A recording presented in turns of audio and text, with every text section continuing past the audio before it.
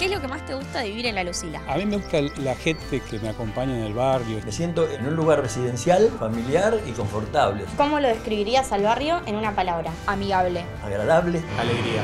Es lo más. ¿El lugar más icónico que tiene el barrio? La plazoleta entre la estación y Rawson. ¿Qué le regalarías a La Lucila en su aniversario? Plantas, árboles. Defenderla, hablar bien siempre de la Lucila. Una torta enorme que la pondría en la plazoleta y la compartiría con todos mis vecinos. ¿Y sabes cuántos años cumple? No tengo la menor idea. 80, por ahí. Un beso grande a todos los vecinos del barrio y nos estamos viendo.